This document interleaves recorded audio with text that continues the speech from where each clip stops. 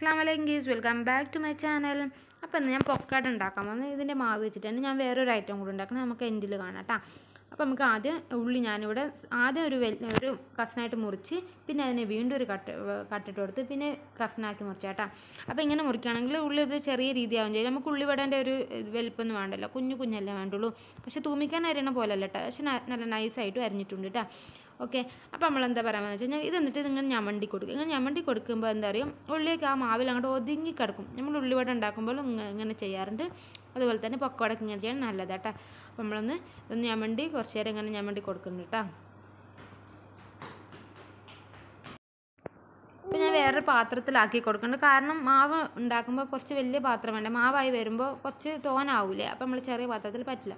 നമുക്കിത് എങ്ങനെ ഉണ്ടാക്കണം എന്നും കൂടി നോക്കാം. അന്ന് തന്നെ ഞാനിവിടെ രണ്ട് പച്ചമുളക് എടുത്തിട്ടുണ്ട്. പച്ചമുളക് നിങ്ങളുടെ എരിവിനനുസരിച്ച് എടുത്താൽ മതി. മുളകും പൊടി ഇട്ട് കൊടുക്കുന്നുണ്ട്.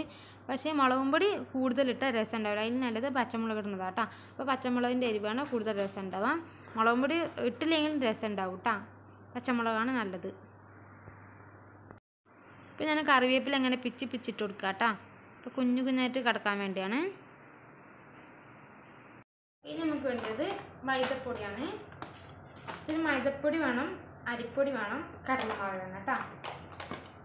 ഇനിയിപ്പോൾ ഈ ഒരു സ്പൂണ് മൈദപ്പൊടി എടുക്കുന്നുണ്ട്. രണ്ട് സ്പൂൺ മൈദപ്പൊടി എടുത്തിട്ടുണ്ട് കേട്ടോ. ഈ സ്പൂൺ നിറച്ച് ഞാൻ എടുത്തിട്ടുണ്ട്.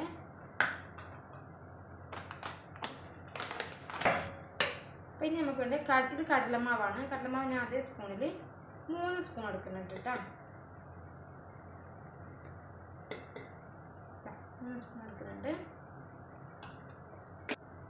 ഓക്കെ നമ്മളിപ്പോൾ കടലമാവ് ഇട്ട് കൊടുത്തു നമുക്കിനി അരിപ്പൊടി വേണം നമുക്കിനി അരിപ്പൊടി ഇട്ട് കൊടുക്കാം ഒരു രണ്ട് ടേബിൾ സ്പൂൺ അരിപ്പൊടി ഇട്ട് കൊടുക്കുന്നുണ്ട് മൈദപ്പൊടി എടുത്തതിന്റെ അതേ അളവിൽ അരിപ്പൊടി ഇട്ട് കൊടുത്താൽ എന്താ പറയുക നല്ലൊരു ക്രിസ്പി കിട്ടും അങ്ങനെ കടിക്കുമ്പോൾ നമുക്ക് നല്ലൊരു മൊരിഞ്ഞത് പോലെ തോന്നാൻ വേണ്ടി നമ്മൾ അരിപ്പൊടി ഇട്ട് കൊടുക്കുന്നത് കേട്ടോ.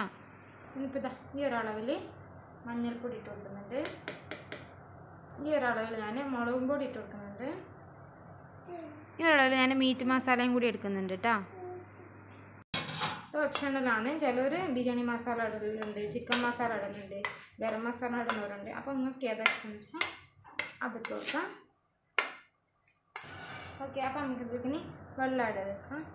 വെള്ളം ഇടയുമ്പോൾ ശ്രദ്ധിക്കുക. ഇടക്കിടക്ക് വെള്ളം ഒഴിച്ച് കൊടുത്താൽ മതി ഒഴിച്ച് കൊടുത്തിട്ട് നന്നായി മിക്സ് ചെയ്യും കുറച്ച് വെള്ളം ഒഴിക്കാം കേട്ടോ ഒറ്റയടിക്ക് തന്നെ കുറേ വെള്ളം ഒഴിച്ച് കഴിഞ്ഞാൽ പിന്നെ വെള്ളം പോലാവും.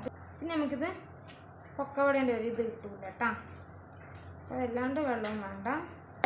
എന്നാൽ ഒട്ടും വെള്ളം ഇല്ലാണ്ടിരിക്കും വേണ്ട കേട്ടോ. അപ്പം ഇനി കുറച്ചും കൂടി വെള്ളം വേണ്ടി വന്ന് എല്ലാ ഭാഗത്തും ഇങ്ങനെ ഒഴിച്ച് കൊടുക്കാം ഈ ഒരു കൺസിസ്റ്റൻസി ആയതിനു ശേഷം നമുക്ക് അതിട്ടാ നമുക്കിനൊരു സ്പൂൺ കൊണ്ട് എണ്ണയിലിട്ട് കൊടുക്കണം. പണി മാത്രമേ ഉള്ളൂ കേട്ടോ. അപ്പോൾ നമുക്ക് എണ്ണ ചൂടാകാൻ അറിയാൻ വേണ്ടി ഒരു നുള്ളിൽ ഞാൻ ഇട്ട് കൊടുക്കുന്നുണ്ട് കേട്ടോ ഉള്ളിന്റെ ഒരു കഷ്ണം.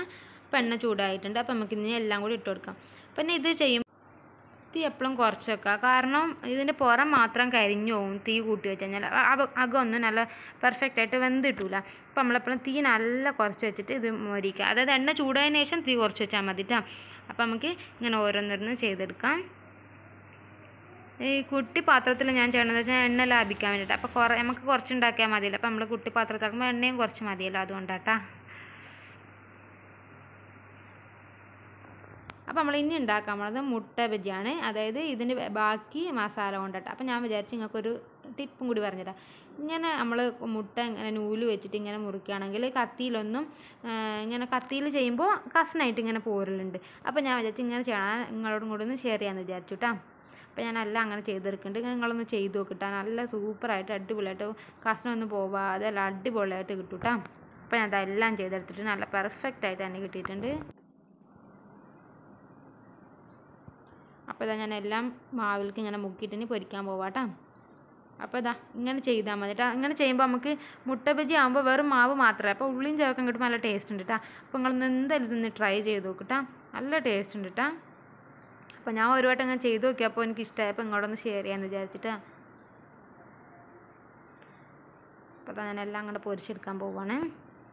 അപ്പോൾ ഇതൊക്കെ തന്നെയുള്ളൂ കേട്ടോ ഇന്നത്തെ വീഡിയോയിൽ നിങ്ങൾ എന്തായാലും നിങ്ങൾക്ക് ഈ വീഡിയോ ഇഷ്ടമായെന്ന് വിചാരിക്കുന്നു. ഇഷ്ടമാണോ ലൈക്ക് ചെയ്യുക ഷെയർ ചെയ്യുക കമന്റ് ചെയ്യുക സബ്സ്ക്രൈബ് ചെയ്യാം നമുക്ക് അടുത്ത വീഡിയോയിൽ കാണാം. അതുവരേക്കും ബൈ ലവ് യു ഓൾ